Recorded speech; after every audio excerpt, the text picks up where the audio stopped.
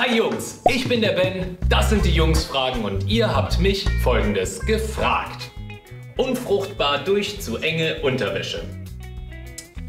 Ja, wenn eure Hoden den ganzen Tag und gerne auch nachts in knallengen Slips hängen, dann ähm, ist das in der Tat nicht so gut. Es ist aber auch nicht so schlimm, wie man immer hört.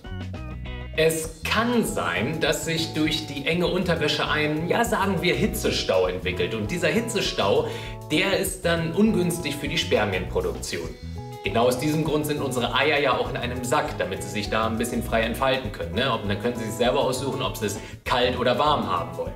Das ist euch sicher schon mal selbst aufgefallen, wenn ihr zum Beispiel in der warmen Badewanne liegt oder es ist draußen sehr warm oder ihr seid in der Sauna, keine Ahnung was, dann weitet sich alles aus. Ne?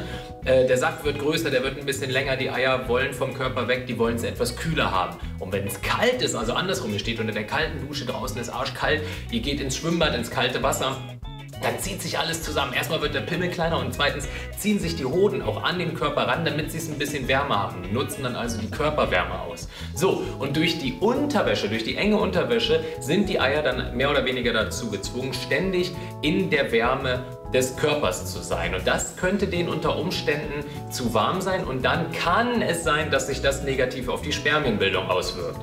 Wesentlich schlimmer ist aber die Auswirkung von Alkohol und vor allem vor Zigaretten. Also Zigaretten zerstören die Spermien oder stören die Spermienproduktion wesentlich mehr. Außerdem stinkt euer Körper dann auch extrem nach Rauch und das ist auch nicht sexy.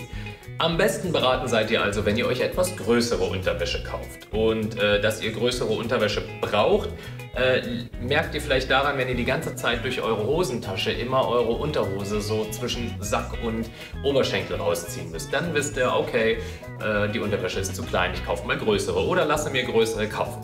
Und nachts tragt ihr am besten nur eine weite, labbrige Schlafanzughose, natürlich ohne Unterwäsche oder ihr pennt direkt nackt. In der Hoffnung, dass das dann kein Problem mit den feuchten Träumen gibt. alles klar. Ich hoffe, alles ist beantwortet. Like das Video, abonniert die Jungsfragen. Bis denn!